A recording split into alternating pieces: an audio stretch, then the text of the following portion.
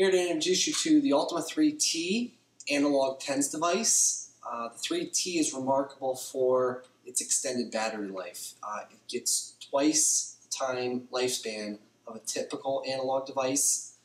Um, also, it's a compact and very thin device uh, versus a typical analog device. Uh, it's a very easy setup device um, with adjustment of your pulse width, pulse rate.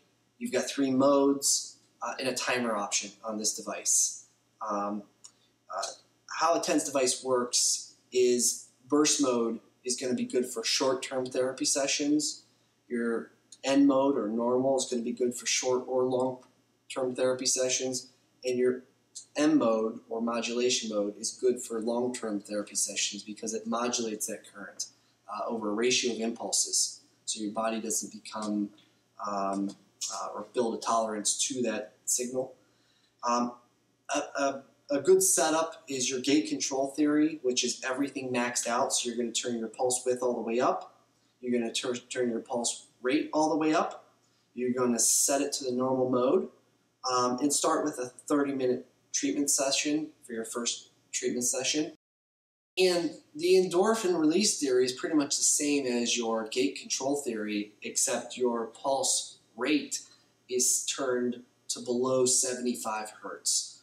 Um, once you have your setup, your settings in place, um, you can close your front cover, uh, plug your lead wires into the channels that you're utilizing.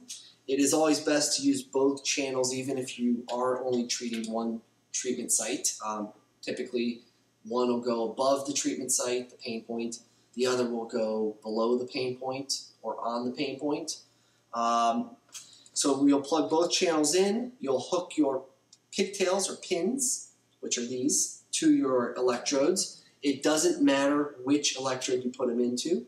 You're going to put your red into one, your black into your other. Uh, one important thing is make sure your pads aren't touching each other when you put them on the body or onto your pain point. Uh, they should be about one to six inches apart. Um, and uh, you know, so they're not touching and not too far apart, so you don't dilute your current. And then once everything is set up, you can open your front cover, turn your device on by turning these knobs, these top knobs, slowly until you start to feel a little bit of a tickle. And a little bit above a tickle is where you want to be. About 20 minutes later, your body will adjust to that signal and you can turn it up a little bit more.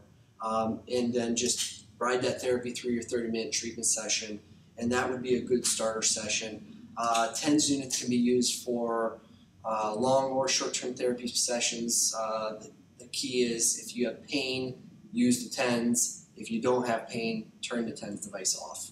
Um, that's a simple setup and a very basic uh, instruction on our new Ultima 3 TENS device. It comes in a nice compact carrying case that's portable and protects the device. And that's the Ultima 3T.